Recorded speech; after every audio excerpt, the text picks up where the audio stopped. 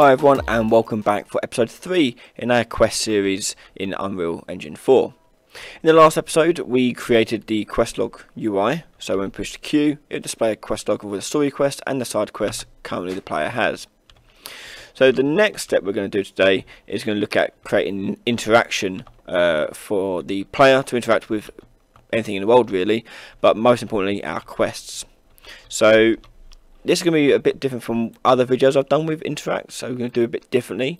The reason why we're going to do it differently is because we can't foresee exactly what things will be interactable. The way the system is designed is so that we can drag a quest onto absolutely anything, and that thing become a quest giver. Now, not knowing that in advance makes it quite difficult to determine whether or not we can interact with an item or not. So we're going to change things up a little bit and do another way of doing interactions. Okay, so back to where we were previously, we're going to go into our uh, main character. So once into your main character, we are going to add a interactable cone in front of the character. So I'm going to add component, uh, sorry, add component, uh, capsule, collision. You can do any shape you like, but that's what I'm going to go with. Interaction field. That's what I've named it. And I'm just going to reposition this so it's in front of the player as a sort of vision cone almost type thing.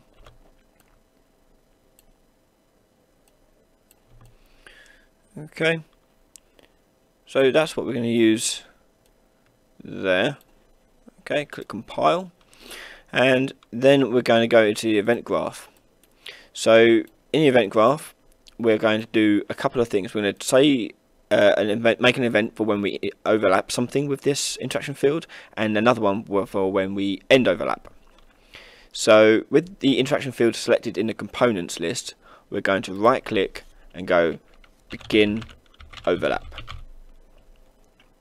And you'll see add on component begin overlap so this is what that one means. So it means when we overlap that field, it will do this. And what we're going to do is we're going to make it add a widget to the screen. And that widget is going to say something like press E to interact. So let's first of all create that widget. So click compile and back out of here. And I'm going to create a new widget. So I'm going to go in my Quest UI folder, add new, user interface, widget blueprint and I'm going to call this interact message underscore UI. I'm going to open it up and I'm going to delete the canvas panel. All I need for this is just a text box, so text and drag that onto your hierarchy. In the text block we're going to type in press E to interact and click compile. And that's all we're going to do for this. We can close this out. So what we're going to do now is we're going to add the input for our interact, a hotkey for it. So in the project settings, you want to go to input on the left hand side. Underneath action mappings, hit the plus sign and type in your new one to be saying interact. And in here, you can choose a key.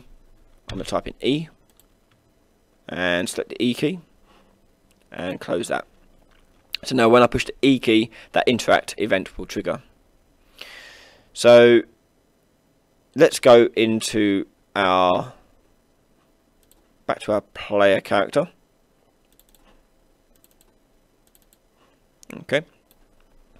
So the player character has this on component begin overlap with the interaction field.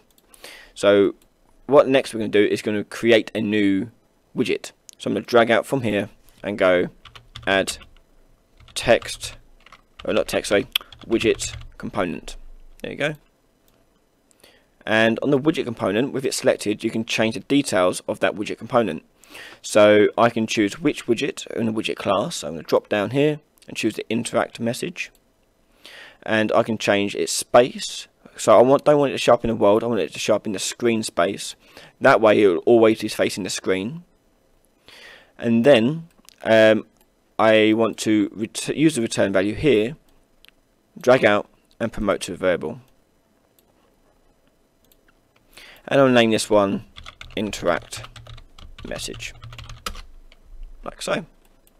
So I've stored a reference to this widget that I've created. At the moment this widget belongs to this uh, character. But what I want it to do is to show up above the uh, whatever I'm interacting with uh, above their character head so what I'm going to do next is from the return value here is I'm going to attach this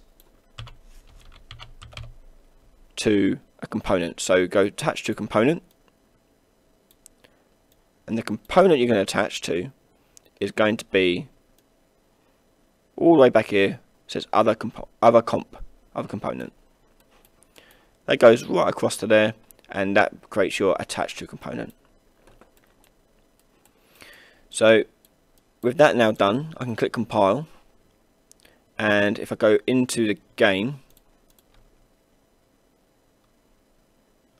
you can see the push E to interact message appears. So it's slightly off center. Okay, that's because we haven't horizontally aligned our text. So let's go back to our widget folder uh, folder in our Quest UI. And in here, I'm going to click on my text here and make it center aligned. Click compile. Push play. And there is you push E to interact. So the next job is make it turn off. So when I face away from the character, it turns itself off. Oh, wrong one. Let's go into our player character. Okay, so there's the begin overlap. We now need to do the end overlap. So again, click on the interaction field in your component list, then right click in your blueprints and type in end overlap. And you want add on component, oh, sorry, on component end overlap. And with that done, we're going to drag the variable of the interaction interact message sorry drag this out choose get and right click on that and choose convert to validated get so before we delete it we're going to check that it's still there if it is there then we're going to delete it so get the interactive message and from there we're going to destroy component after that we're going to set the interact message and leave it unplugged. That resets the variable, so it's basically null. Click compile. Oh, and push play. There's E to interact, and the face away, it turns off. But I can approach it from any angle, and it will appear nice and in view. Perfect. So the next job is to make it so you can actually interact with it. And more importantly, determine whether or not it's a quest that's on it and interact with the quest. So from there, I'm going to go into my quest system folder and I'll make a new folder called quests. And in that folder, I'll make a new blueprint class called actor. Call it quest. This is going to be our parent quest. So this will hold all the details that all the quests will share and all the code that all the quests will share. So open this quest up and we're going to give it a new variable. So the bottom left, new variable, and I'm going to call the new variable name. And it's variable type of text. Click compile and the default name I'm going to put in underscore quest name. Compile again and we can close that. We'll come back to that a lot later on because obviously we're going to be working with it quite in detail later. But right now I just need a name. So the quest parent, I said, acts like a parent to all the quests. Okay, that's where all the code is. So any quest you want to make, all you have to do is right click on the quest and create child. I'm going to call it quest and I'm going to give it 001 as a number. So the way this is going to work is I'm going to drag the quest out and attach it to the NPC friendly in the outliner. So whatever you want to attach it to as a quest giver, you just drag it onto it, like so. And although it's not in line with it, we can make it in line with it, so we make it nice and organized. So let's make that organized. So open up your quest parent. So in our quest parent, we're going to create a new function. Click on the plus function, and I'm going to type in organize uh, quest in editor. And this thing is simply going to just look at the what parent it belongs to. So I'm going to get attached, oh, attach parent actor. And then from there, I'm going to set location of this actor to match the parent actor's location. So from here, I'm going to get location, and then from there into new location there. So this function will actually do that. However, how do we call this inside the editor? Well, when you click on the function itself, go right up into the top details and you'll see call in editor. Tick this button and compile it.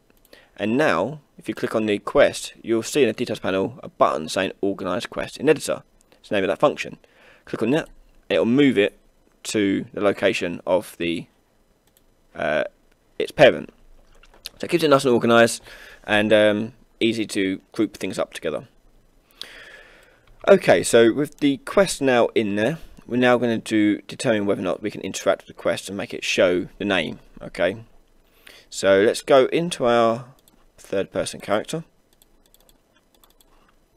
and let's look at creating that interact event that we set up earlier. So what this is going to do is going to look at whether or not first of all this widget actually exists, meaning that we can carry on and if it does we're going to then get the variety of uh, children and parent actors to get eventually the quest we want. So this input action event, the first thing we do is check whether or not the message actually exists. So drag interact message out and choose get and make that a convert to validated get. And if it is the case, then we can carry on. That's an easy way to check whether or not we can interact and we're actually hovering over something. So with the interact sorted out, uh, we can then check for the parent it belongs to. So with the interact message, we're going to get uh, owner, not owner, parent, get attached parent, then the, that will get the attachment here. From here, we're going to get the owner, because that returns a component. We don't want the component, we want the actor. So this will now get the actor this component belongs to. So this other component has now got the message and this thing here is going to get the component that we have attached the message to and then that's going to get the actor the component belongs to. Very confusing. Hopefully I'm making sense. Um, so that will get the owner. So that will return this chap here.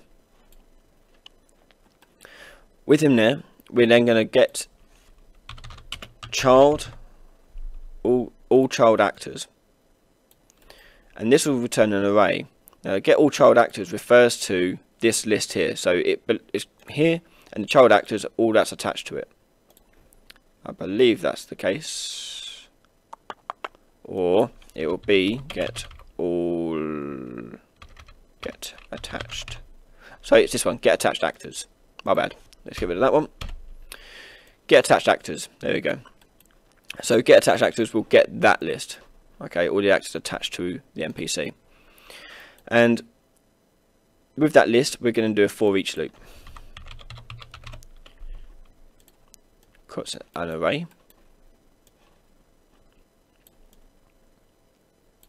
And there's only one thing attached to it, and that would be the quest. So we need to check whether or not this is a quest we actually got. So we're going to cast to quest.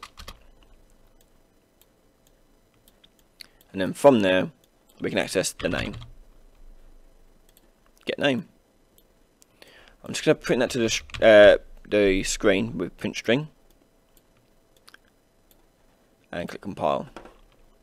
So now if I play the game, walk up to this chap here and push E and you can see the quest name appears on the top. So to change the quest name, all I have to do is go into my quests, quest 01, and click on up here, the name, I'm going to call it Humble Beginnings and compile it. So if I push play, he's now got the quest, Humble Beginnings. And I can't hit E again outside, I have to be near him to hit that key there. So now I've got access to that quest, and that means I can then show dialogue or a cutscene or whatever, and then add it to the quest log later on.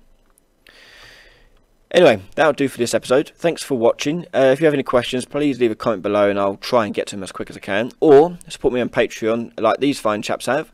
And uh, from li literally as little as a dollar a month, you can help me out massively. And uh, you can ask me for all sorts for help in our Discord channel. As well as get access to videos early, as well as many other benefits. Anyway, thanks for watching and I'll see you next time. Thank you. Bye-bye.